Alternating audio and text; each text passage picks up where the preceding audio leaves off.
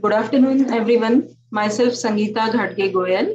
I'm working as a principal scientist in Environmental Audit and Policy Implementation Division of CSIR NEERI Nagpur.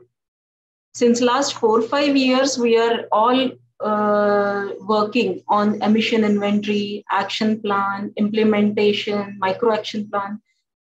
We uh, are bombarding with all these uh, terms which were earlier not been uh, discussed with the urban local bodies or uh, the state pollution control boards. And uh, while uh, uh, doing all these things, many times we face many challenges that how uh, we should go for, further, how we should process our data, from where we can get the data. Uh, since 2016, we were involved in uh, the emission inventory uh, preparation and action plan preparation of 10 cities of Maharashtra. Uh, we have faced many challenges in uh, doing all these activities. Hence, I thought that I should highlight some of the challenges which we faced during all these activities. So, the title of my topic is Challenges in Emission Inventory Preparation and Action Plan Implementation. The contents of my presentation are first is emission inventory. We would like to know how, uh, which approach we should uh, employ for uh, preparing a good and reliable emission inventory. Then secondly, the source specific activity data requirement, which we need for the preparation of emission inventory. Then after that, what are the challenges in this data or getting the data or processing the data? Then uh, third is the emission factors, which emission factors we should use for the calculation of emissions. Then action plan.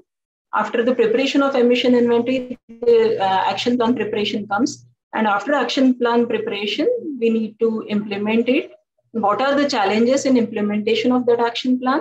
And lastly, uh, since I was involved in the preparation of emission inventory action plan, as well as uh, uh, giving technical assistance for uh, to Nagpur Municipal Corporation for the implementation of this action plan. I would give few case study examples of Nagpur city. Now, emission inventory. What is exactly this emission inventory? So emission inventory is the systematic compilation of all the air polluting sources which comes in your study area along with the quantification of the pollutant specific emission load from those sources. And the basic requirements for this emission inventory are data collection about the sources or the activities which are taking place in your study area.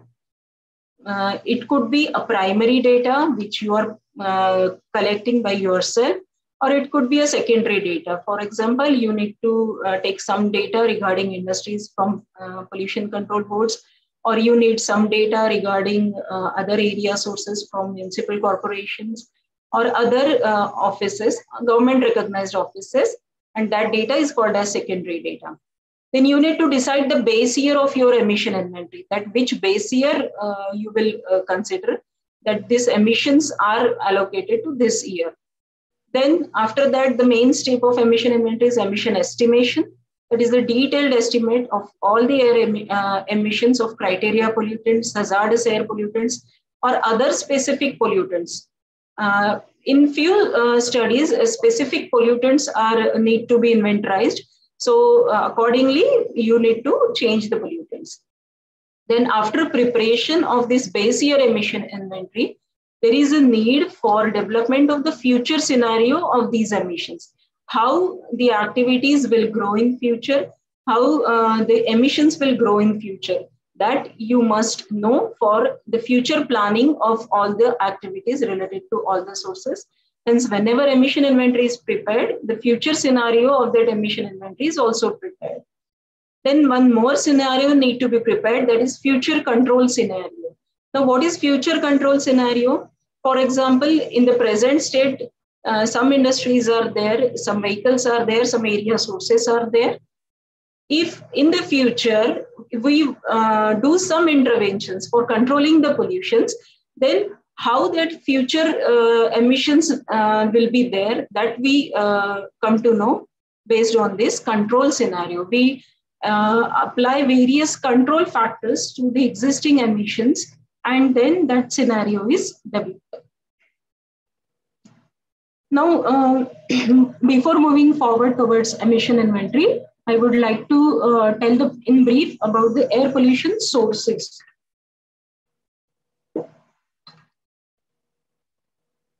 Now, in any emission inventory, generally we target for controlling or inventorizing anthropogenic emission sources. There could be other natural sources also, like volcanoes, forest fires, and all that. But we uh, need to uh, inventorize the pollutants from the anthropogenic sources so that they are under our control. So these anthropogenic air pollution sources are divided into three categories. That is point, area, and line. Point sources are industrial sources which are emitted from any particular point like stack into the atmosphere. Area sources are generally the urban uh, area sources which comprise of hotels, restaurants, crematoria, Open waste burning also contribute to these sources, construction and demolition works, paved, unpaved roads, and many other small, small uh, sources, which we cannot take under point sources because they are not being emitted to a single point. There are various uh, sources emitted from various number of points and relatively in a smaller quantity as compared to the industrial sources. Then third category is the line sources. Line is the moving sources of air pollution and uh, uh, traffic is the main uh, source of uh, uh, air pollution in all the urban cities. Whatever these uh, non-attainment cities are identified in India, majority have their major share of traffic emissions in their total emissions. Now, whenever we see all these uh, emissions, all uh, these sources, whatever being emitted from whichever uh, source, receptor will always be at risk. There is no escape for us. Anyone who is exposed to these pollutants, he will be always at risk. now, in emission inventory, we will categorize these sources. Just uh, now I told you that area sources, point sources, line sources. In any city, these area sources will be categorized into further uh, categories like domestic cooking. For example, many uh, households use LPG, few households use wood, coal, or some of them use briquettes also, agriculture briquettes for cooking so this is one of the major source of uh, uh, emissions from area sources. Then construction and demolition activities for buildings, roads, metro, etc. Crematoria, we burn uh, in according to Hindu rit- ritual. We need to cremate the bodies after the death. So a huge number of emissions take place through that uh, activity. So we need to uh, account those emissions also. Then there are hotels, restaurants, bakeries, open eat outs, dhabas. All these also burn some quantity of fuel for their uh, activities. So they are also one of the area sources. Then solid waste burning. In many cities, especially in winter season, we find that people will sweep their uh, courtyards and they will just burn the waste as it is, which will lead to the emissions of various pollutants into the atmosphere so that is also one of the source. Then paved and unpaved roads, that is a source. And apart from all these, if some small scale industries are there within or just near to the city limits, then they also contribute to the area sources. In point sources, we account for large scale industries, medium scale industries, as well as, as well as few small scale industries which have some stacks. So they uh, those we consider in point sources. Then in line sources, we consider all the vehicle categories. Now, now we know the, what are the sources of these uh, emissions. Accordingly, we'll have to plan for our uh, collection of the data. So how we will collect the data for preparing this emission inventory? So there will be primary survey. Will you you will have to uh, do a primary survey. You will have to plan for it. So uh, various sectors for this could be first is the registered restaurants. What data you will ask for these uh, restaurants? So you need to know type of fuel they are using, whether they use LPG, or they use uh, coal because some uh, hotels and restaurants use uh, coal for their tandoors and some use wood also so you need to know which type of fuel they are using you need to know which type of fuel they are using per day quantity of fuel per day and it could be a questionnaire type of survey that you can prepare a questionnaire you can distribute them in the certain areas of the cities where these hotels and restaurants are located and then you can get feedback from them Similarly, similar surveys could be done from roadside eateries, bakeries, and DGZs, which all are unregistered. Because these roadside eateries, open eat outs, they are unregistered. So you need to uh, do primary survey for these sources. Similar uh, type of, uh, whatever type of fuel they are using, how much quantity they are using per day.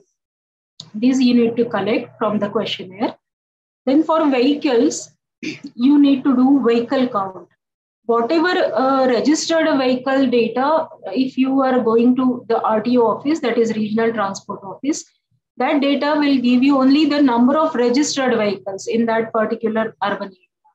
But when you will uh, find, uh, whenever you will try to find out the emissions coming from vehicles, you must know what are the on-road vehicles in that particular area from that only you can get the realistic estimate of the vehicular emissions. So for vehicular uh, sources, first of all, you will have to identify various locations in the city for the traffic count. Then uh, you will have to do the traffic counting. It could be uh, divided into holidays and working days like this, one day working, one holiday then you will have to do some surveys for uh, at petrol pumps parking lots etc from these surveys you will know the vehicular fleet age then what are the miles traveled per day from each category of vehicles and all that which will be helpful to you in calculating the emissions. In terms of domestic sector you again need to uh, uh, do the questionnaire survey uh, from the sample population.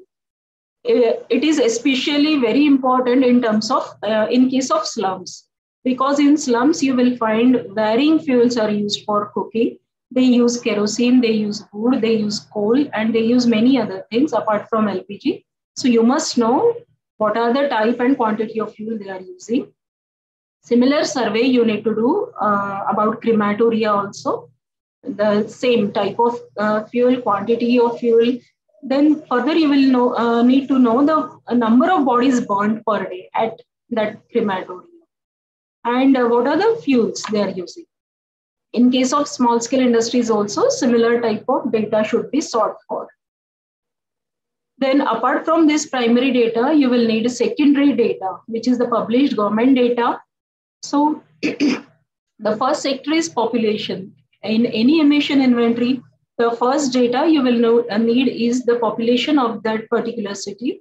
That is urban uh, residential population, which you can get from the municipal corporation. Then you need to know the registered hotels and restaurants that uh, the uh, large scale, uh, some hotels fall under large scale industry category. So that data is available with state pollution control boards. And the other hotels data will be available with the Food Safety and Standards Authority of India, FSSI. Some data will also be available from the Food and Drug Administration Office.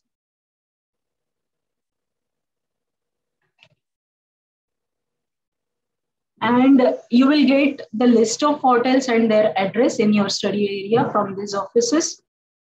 Then regarding construction activities, in any city, roads, bridges, and other construction activities go uh, goes on. So you, you need data on these activities. What much, uh, what is the area is being constructed, where it is located, and all that. So you need to uh, um, get this data from municipal corporations, public works department, National Highway Authority of India, and all that. And uh, you need to know uh, various data like type of fuel, per day, what they are using, then what is the base area of construction, how much they are uh, digging per day, then number and operating hours of their non-road vehicles, for example, their JCBs, cranes, and all that. so that you need to find out. Then next sector is industries, small foundries, distilleries, sugar units, and all that. This data will be available with the State Pollution Control Board. You will uh, need to know how much number of these uh, industries are there, what are their operating hours, what is the type of fuel they are using, how much fuel they are using per day, etc. And also, what is the uh, air pollution control systems if it is deployed in that particular industry, then that also will, will be required. in case of vehicular sectors, the number of registered vehicles in city and their type, this data you may get from RTO office. This data will be useful uh, for you to know the percentage increase of every year in the vehicular population. Now, after getting this data, you know the sources, you know uh, the related data. Now, how you will calculate the emissions? So, uh, the amount of pollutants discharged from any particular pollution source are called as emissions. And they are commonly calculated like what are the mass of pollutants emitted over a certain time for example, it could be kg per hour or tons per day. Then mass of pollutants emitted per unit mass of material processed or burned. This could be related to the industrial activity. Finally, the emission will be the process or activity or fuel burned multiplied by the emission factor. Then only you will know what is the amount of emission emitted per day or per year from that particular activity or process. Now, what is this emission factor? So emission factors are, uh, whenever we are doing some source-wise emission estimation, so they are always based on activity data and source-wise emission factors for various pollutants are used for calculation of these emissions. These emission factors can be obtained from the published documents of Central Pollution Control Board, uh, Automotive Research Association of India, and there is one document called as AP42. It is United States Environmental Protection Agency's document, which is the compilation of various emission factors. I have, uh, for your convenience, I have uh, given these uh, some of the links where you can get the emission factors uh, with respect to various sectors. For example, you can see here uh, in uh, www.epa.gov air emission factors, you can see unpaved roads section is there, paved roads section is there. So those uh, sections will give you the guidance about the calculation of emissions from uh, paved, unpaved roads and all that. CPCB, there is one report of CPCB, which is on air quality monitoring, emission inventory, and source apportionment study for Indian cities. National Summary Report 2011. This report comprised majority of the Indian sources emission factors. It is a very good report and it has all the references also that from where these emission factors were taken.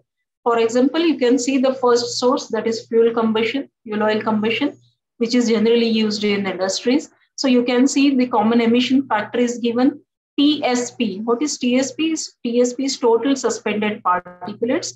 So emission factor is given as 9.19 into S plus 3.22 into 0.12.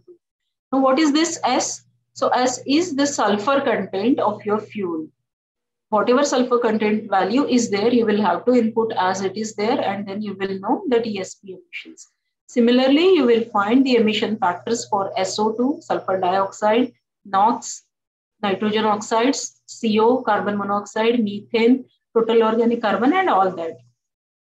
This uh, uh, uh, report contains majority uh, sources with respect to the emission inventory preparation. Uh, the first slide, it has non-vehicular emission factors. Similarly, in the same report, you will find residential wood stoves or restaurants burning emissions, then you will find domestic kerosene combustion emissions also. And they have given the references also that from where it is taken.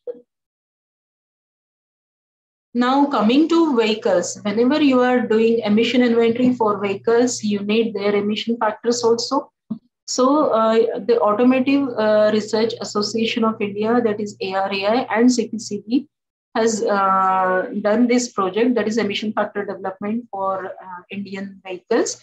And uh, uh this report has total 62 categories of vehicles along with their uh, subcategories, their vintage, their fuel type, and they have given the emission factors for five uh, for various air pollutants like CO, hydrocarbons, NOx, CO2, PM, and others also like benzene, 1,3-butadiene, and all that.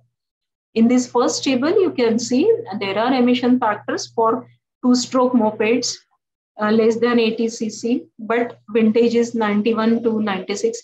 Then second is two-stroke moped less than 80 cc, but vintage is 1996 to 2000. And uh, uh, likewise, you can find 62 categories of vehicles emission factors.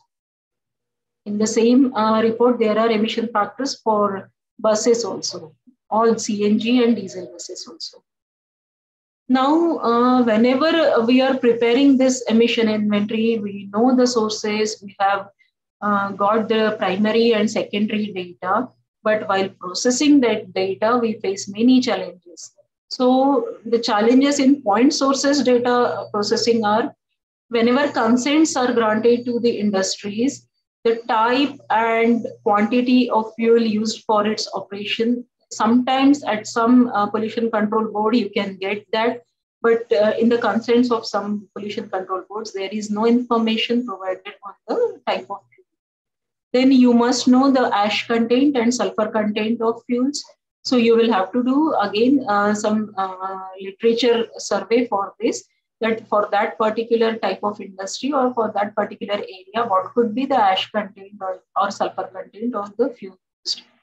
Then you need to ask for the efficiency of APC systems and uh, deployed at these industries because whenever you will calculate the emissions, you will have to know that if some APC system is deployed in that industry, then you will have to reduce the total emissions by the efficiency of that APC systems because whatever emissions you will be calculated activity wise or process wise will not be directly emitted as it is. They will pass through the control system. So there will be certain reduction in the emissions.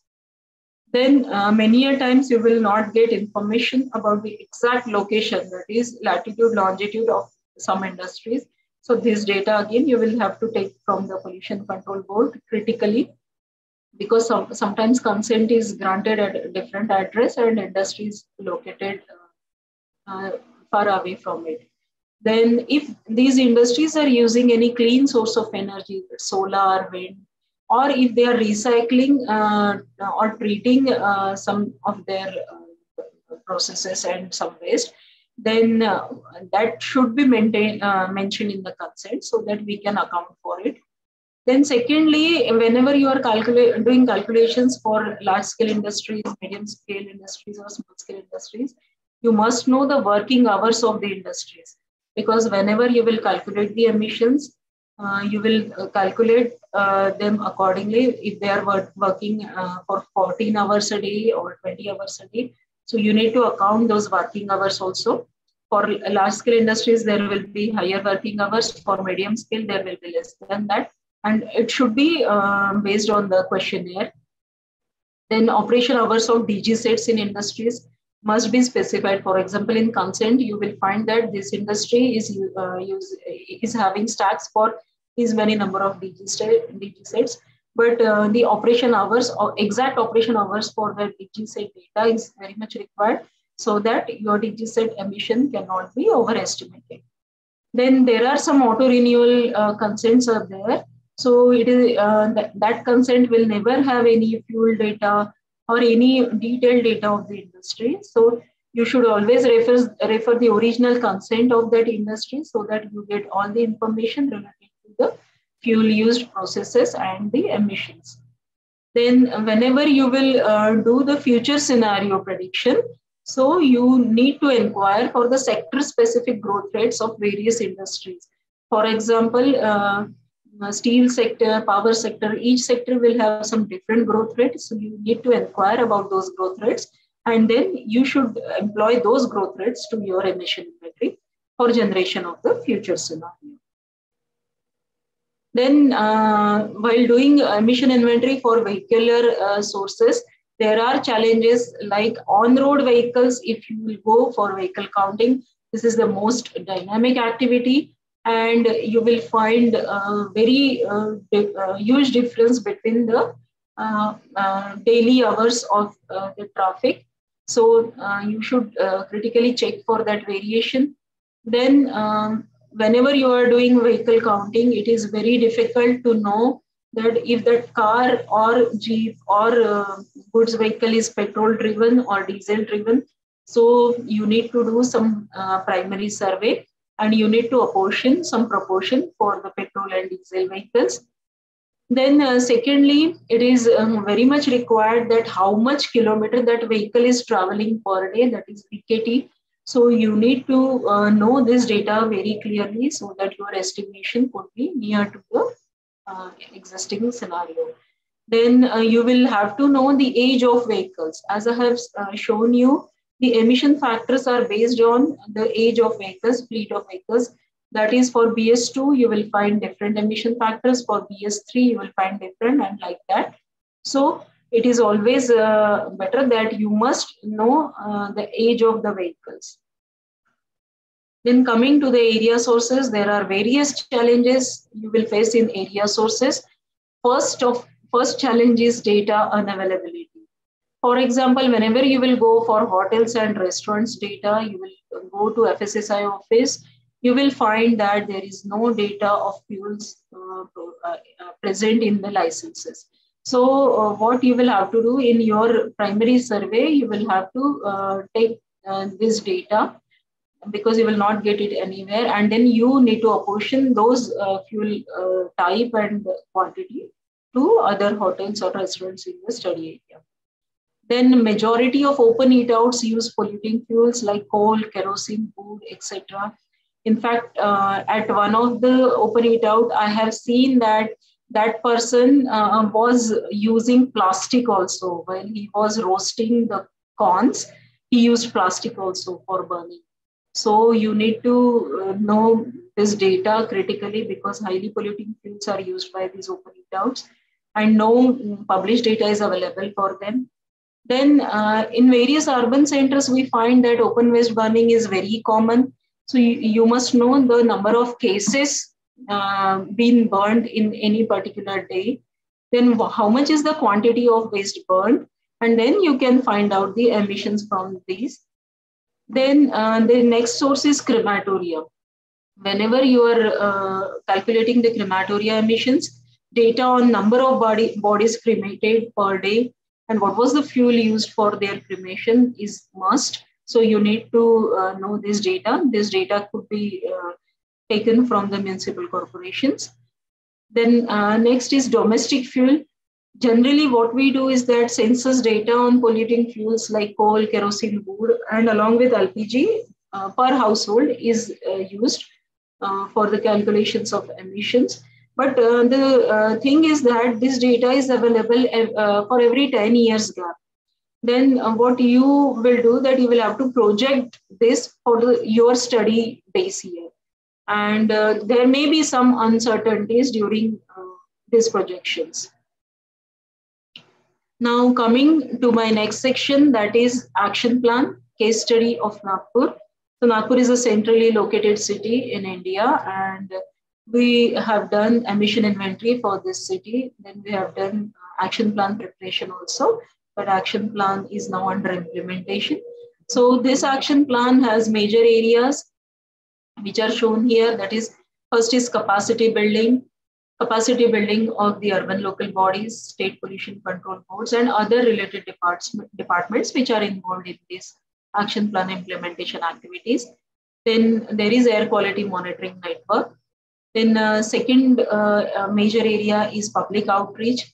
First of all, you need to create, create sufficient awareness among public that they need to contribute in all these activities. They need to play their role to get the clean air. Then third uh, major area is road dust, construction and demolition activities, green cover, then vehicles, then industrial pollution, biomass burning, domestic fuel combustion, and crematoria.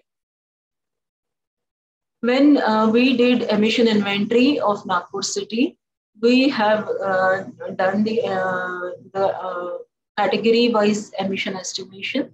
And this pie chart is showing that among all the emissions, vehicular sources is the biggest polluter in Nagpur city in terms of uh, these are this pie chart is for PM emissions, followed by area sources which are contributing to 33%, and uh, after that large scale industries, small scale industries, and medium scale industries.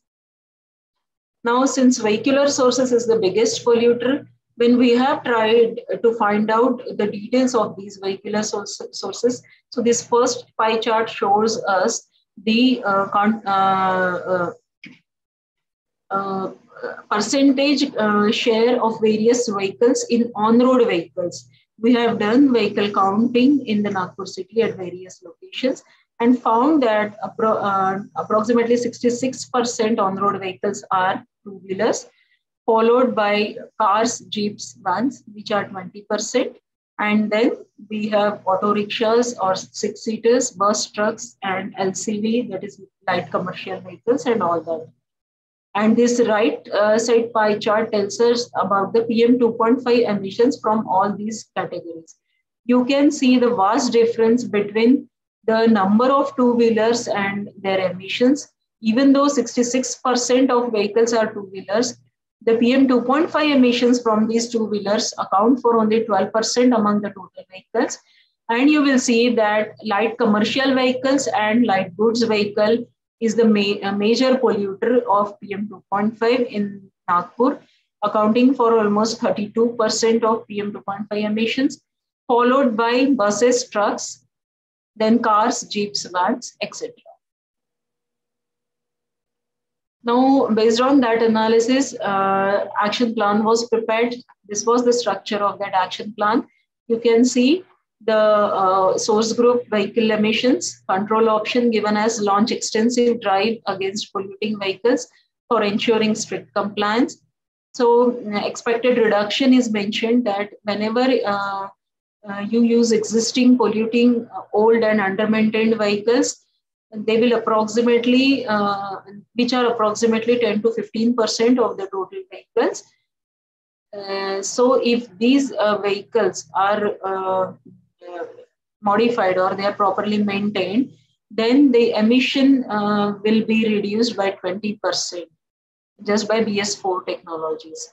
And uh, this activity, um, responsible agencies are, are RTO, Smart City, NMC, and Transport Commission. And uh, then uh, in case of Nagpur, all they have launched extensive, extensive drive against polluting vehicles then uh, uh, there is uh, necessary steps taken for PUCs also that I'll tell you. Now, uh, when we talk about PUC, so there is a history of vehicular emission standards implementation in India. BS1 was started in the year 2000. It was implemented nationwide. And BS4 was introduced in 2017 in uh, whole nation. BS5 was skipped and then BS4 was uh, implemented since April 2020 and it is implemented nationwide. Now, what are the challenges? When you see these visiting uh, polluting vehicles, you know that they are polluting and the pollution is very much. So, what are the challenges? The thing is that although pollution under control is the mandatory uh, uh, certificate which we need to drive any vehicle, the parameters which are mandatory in this uh, certificate are carbon monoxide and hydrocarbons. So uh, there is a suggestion that uh, ratio of, uh, we can see the ratio of CO to PM emissions so that uh, we can say that the vehicle is polluting. Because whenever we see uh, the, that RTO office is reluctant that, that they say that under this provision, we can only uh, catch the vehicle uh, for CO or HC and all these emissions. There is no provision for PM. Now, whenever diesel buses are running on any uh, city, there will be huge emissions. BS2 and BS3 category diesel buses are already completed 15 years on road. And uh, just for example, just uh, to know uh, that what are the emissions from these diesel BS3 buses are there. So I have done some emission estimation for city buses So 100 uh, BS3 diesel buses will uh, lead to 62 kg per day emissions of CO, 104 kg per day emissions of NOx, and 2.2 kg per day emissions of PM. Excuse me, madam. Ah, uh, yes. Madam, uh, can you please uh, show your presentation slide in full mode? Yes, madam. Okay, okay. Ha, ha. Thank you so much. Now, uh, uh, there are uh, recently very uh, good strategies uh, uh, asked by government of India and under NCAP, it is under implementation, that is e-vehicles. So in, in case of Nagpur, six numbers of e-buses have been already procured and they are on the road. And when I have done emission estimation for this means how much they are capable of reducing the emission load in the air. So uh, we found that in terms of PM 2. PM, they are capable of reducing 0.38 kg per day of PM emissions into the Nagpur air. And uh, similarly, various charging stations and everything are proposed in Nagpur. Uh, the challenges challenges with these electric vehicles are there are O&M cost for e-buses is 43 to 66 rupees per kilometer. Then you need to uh, create uh, infrastructure, charging stations and all that then uh, we should uh, try to find out uh, the feasibility of solar powered charging stations for these vehicles. And there should be provision for subsidy to be given for the E3 and 4 wheelers. So this is the public transport system in Nagpur. In terms of uh, public transport, the challenges which we are facing, uh, for example, this is Nagpur Metro, 30, 38.2 kilometer corridor is there. But the average ridership, when we uh, see that from January 20 to March 20, 5,434 persons have uh, uh, was the average ridership, which increased to 7,100 in October to December 2020. So with respect to the population of around 27 to 28 lakhs of Nagpur, this number is very less. Then in case of city buses, uh, we, uh, we observed that what are the challenges there is more preference to use personal vehicles than the public transport. The pre-COVID riders of city buses per day were 1.5 lakhs, whereas post-COVID only 1 lakh uh, persons are traveling using these buses. Uh, in uh, for some duration in 2018 and 19, ethanol AC buses were introduced in Nagpur.